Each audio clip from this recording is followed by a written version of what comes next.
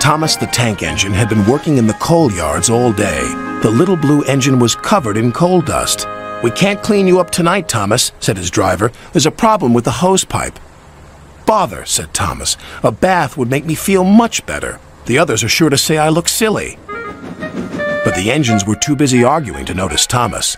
James was talking loudest of all. I deserve a new coat of paint. Sir Topham Hatt says I'm the pride of the line, and rubbish, huffed Henry.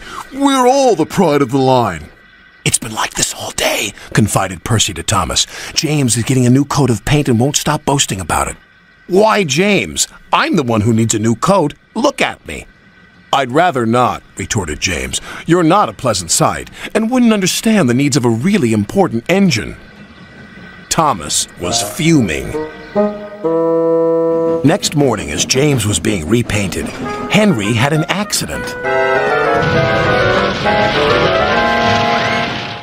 If you can't push cars properly, Henry, why not talk to a tree instead? You know how much you like the forest. As a matter of fact, bossy boiler, Sir Topham Hatt is inspecting the island for trees that are too close to the line. He's worried they might cause trouble. Pah! laughed James. If I came upon a tree, I'd just push it aside.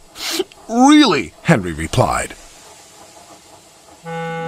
Soon James was showing off his paintwork. Make way for an important engine. You wouldn't feel important if one of those trees crashed on you. You'd feel hurt, reproached Percy. Rubbish! It wouldn't dare! You should be careful, James. Trees can be just as powerful as engines, advised Terence. Oh, please. Now, excuse me, Sir Topham Hatt needs me to pull the express. And he huffed away.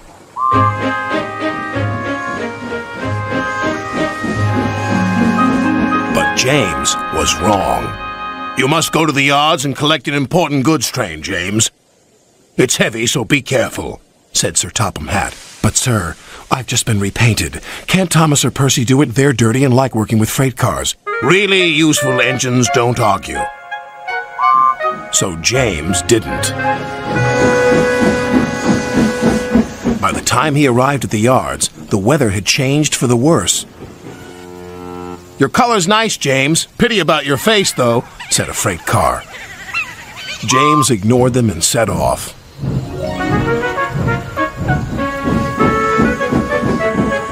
Soon they came to a hill, and his driver knew they were in for a difficult time. An old tree close to the track was being blown by the strong winds, and the rain had weakened the slope. All of a sudden, the tree moved.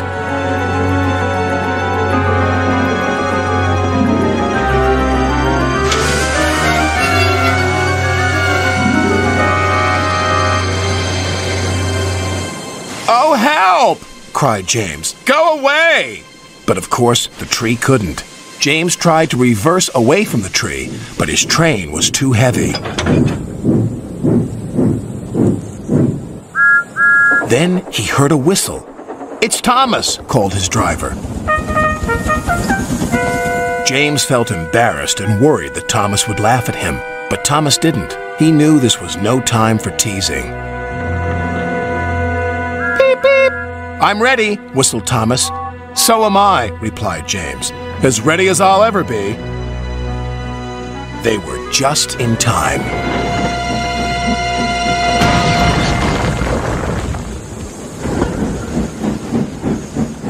Later, James spoke to Thomas. Percy and Terence were so right to warn me. Thank you for rescuing me, Thomas. Oh, that's all right. We engines must pull together, whatever the weather.